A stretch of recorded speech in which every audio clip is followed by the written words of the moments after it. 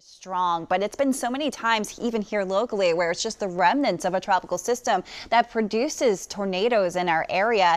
And we are watching for tornadoes today moving into New York, Vermont, and just northwest of our area. Here locally, I do think some of these storms could hold together and be strong in the form of gusty wind and downpours. However, it does appear that the tornado threat is going to stay to our northwest. And good news there, but you can see the track of the remnants of Beryl continue to stay just to our northwest, moving in into Canada here.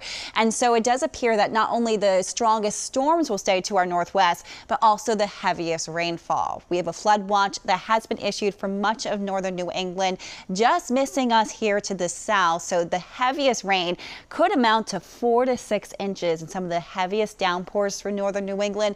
Here locally, there will likely be a few downpours that hold together as they approach us, but they'll be more isolated in nature. And so I do think there'll be a few hit or miss spots where we could could see near two inches of rainfall for this evening and heading into tomorrow. It's something we'll be watching in a scattered form heading into Friday as well.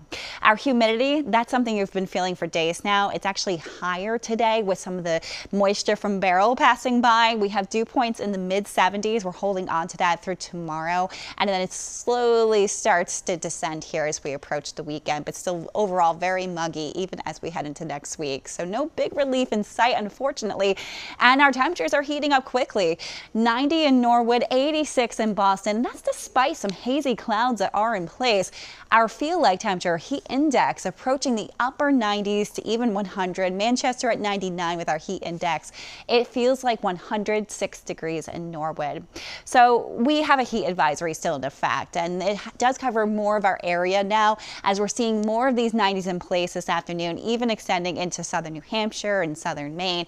The only exception to that the South Coast Cape and Islands as the gusty south wind in place producing this heat for us inland will actually keep things cooler down there as it's a flow off of the ocean.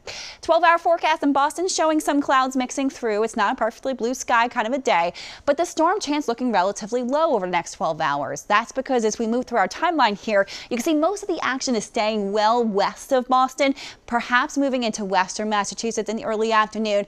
And we'll watch for that into the evening, perhaps skirting areas north north of Route 2 heading into tonight. But in the overnight hours into tomorrow, that storm threat gets a little closer. Notice we're very warm overnight in the low to mid 70s, and we hold on to that humidity factor. So any scattered storms have that easy potential to produce very heavy downpours, tropical downpours even as we head into tomorrow morning.